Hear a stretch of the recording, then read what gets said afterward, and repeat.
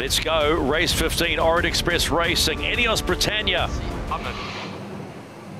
Et c'est pas ce qu'on va Ouais. Je fais une entrée, je reloffe. euh, Uh, French here, a little bit late, in at risk of being dialed here by the British. They'll have to keep clear. Ok, super. Pars pas le bateau. Ouais, ça reloffe les gars. Ineos protesting that Ineos did not keep clear. They were so vulnerable late into the box. Yeah, it's all important to keep the pace on for those entries. So ah, that's not what the French need. Penalty. devant. Pistolet, les gars. Yeah, the British here, basically doing their own sort of time on distance. They've gone out. They've obviously got the pen penalty on the French, gone out to the other side of the course. They'll be coming back and they'll be looking to tack or jibe inside the French here on their own time on distance for a, for another push. No problem here. Are working up? Boats now head to head coming together. We never see this. Two, one. A pretty easy start there for the British. Just tack Ok, il est trop tôt. ouais. Over here. and cleared the line there. On est tunnel, c'est clear. Speed building behind. I think they realised they were over the line and they were just by a couple of seconds. The British there, just a little mistake by them, but they do have the advantage.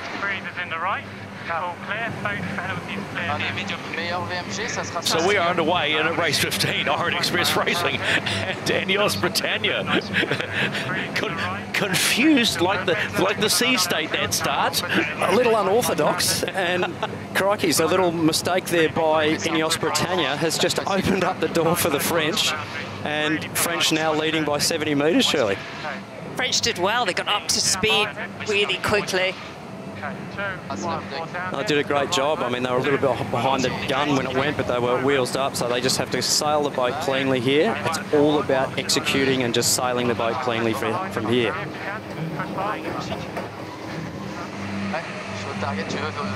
We are getting it all on day four of the Louis Vuitton Preliminary Regatta. Emirates Team New Zealand being beaten by American Magic. The Italians getting home after a penalty and also a poor start and that big stuff by Alinghi Red Bull Racing. And now we've got another cracking match race on our hands. Little bit of flag on us here. Yeah, it looks pretty light right up at the t- we're at the top mark, and it certainly uh, looks lighter. And, and um, if I'm looking out, the centre centre right looks to be the best pressure coming down at the top mark. C'est bien. La pression à droite. On est un peu plus lent en même temps. Six cylinders. Two. If they can lay this right-hand turn, I've got that being quite a big gain for the French there. One less manoeuvre potentially up towards the top, and the manoeuvres in these conditions so costly. If they can make it, which it looks like they are, I've got them actually with quite a comfortable lead here. Orient Express Racing coming into the top mark for the first time in this race, and supporters will love to hear that. They are leading Ineos Britannia as they head on the downward leg. You've been working with the French team, Glenn. I mean, they were late to get their boat. They waited for the final design to come from New Zealand, knowing that they would be short of time to get to grips with it. I mean, how impressed are you with them today? Oh, look, it's just fantastic to see the team, you know, out on the water and actually racing. It's, uh, you know, they've been waiting for this moment for a long time. You know, haven't haven't had a huge amount of time on the water compared to everybody else, and you can just see the team there. Flight control in the front, helmsman in the second position, third and fourth, the cyclors on both sides, and no, the team will be really, really loving seeing the, the guys get the boat around the track. But they have had a wobbly jibe. Bow on bow here. Oh, and a lead change, Ineos Britannia. It's just one little wobble One little wobble and a lead change. on board Ineos Britannia here. The French coming back on starboard. They've got the right of way. They're getting going. Close cross. You may still have your crossing here. Big decision time here for Ineos Britannia. Nice. No problem. Okay, coming up the uh, lane. protest. Okay, let's Protest, ouais, c'est bon, c'est fait. further. Euh, ça va être euh, contact en bas. two, one, eight, turning. Protest button being pushed there by the French, but I think they were clear. Ineos, I think, were okay. And Ineos Britannia will head into that bottom gate ahead and just ahead of Orient Express Racing. So tight this final goes. Ineos Britannia around. In come Orient Express Racing.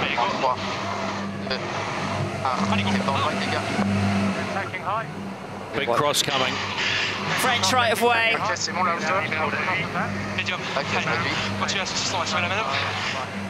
Ok, c'est bon là où je dois. A little touchdown by Ineos there. It'll wash a, wash a bit of pace off. C'est super les gars. Really close here still. So any anyone's game here. Any one little wobble, J'ai l'impression qu'on est... I think we're right phase and then breeze here. Okay. Does it looks better, looks better right all the time. Yeah, we're crossing them by two lengths. Two lengths. Copy. For the comms on board there, not to hit the French there, Shirley. Really interesting comms there. Go in. Un peu de mal. Surely good is good. Oh, it's good pressure here. Very odd. This way. Breeze coming in five. Stay tight. now. Yeah, I think we hit them. Yeah, keep going. Two. No, no, no, hold it. Okay, stand by. Two. One, board down. Moving. Two. Okay. One. Board is made. Turning. Okay, one. Two. One. Going board. Yeah, nice. Normal move here. Okay, step by ten. Uh, British just doing a pretty stock standard manoeuvre there, hurting them on the long tack, forcing the French to tack away. And, my wheel here, wheel. And it will uh, be great racing. Working. Ineos Britannia One, down, all taking the left mark as you see it. And you'll see behind them, there go Orient Express Racing.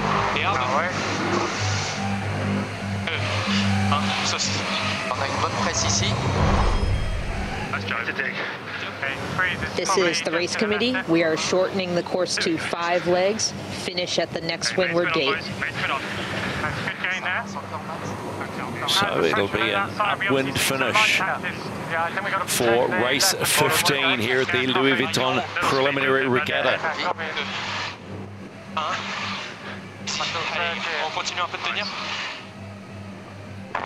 Ineos Britannia just hooking into a nice little bending breeze there. You can see the track.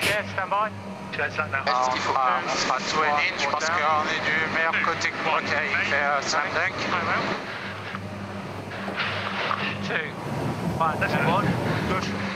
Yeah, really interesting seeing the two boats with the two different sail plans, but yet racing, you know, quite close. So in the puffs, that'll suit the smaller jib, and in the lulls, it'll suit the bigger one. So because it's so puffy and shifty, both boats taking their turns. We are not done with here in race 15. Remember, this is the second to last leg. They've changed the course. It'll be an upwind finish. Ineos Britannia coming into the bottom gate for the final time and heading upwind for the finish in race 15. Whoa! Oh, wobble there, Ineos Britannia. Just may have got away with that. That was really close to a, a splashdown. French only just getting hooked up out of that jibe as well. So right on the edge there of not being able to get down and around that mark on the foil. So really tricky conditions, Shirley, in this bumpy light air with these, you know, super highly tuned boats. And Ineos Britannia sort of look like they're sailing away pretty comfortably now. Fast lane on the box. Oh, yeah. Two, one, board down. Thanks, still. Two, one, made. Turning. Very well. Two, one, go on board. On the move. Ineos Britannia lined themselves up for the finish line, an upwind finish in a five-leg race. I was a bit locked in there. Yeah, I just thought I might give you a nudge. Oh, that's good. And they will come home very happy. Win number two in the preliminary regatta, but more confidence boost ahead of the Louis Vuitton Cup. The challenger of record gets the job done here in Barcelona in race 15. Okay, all the way down.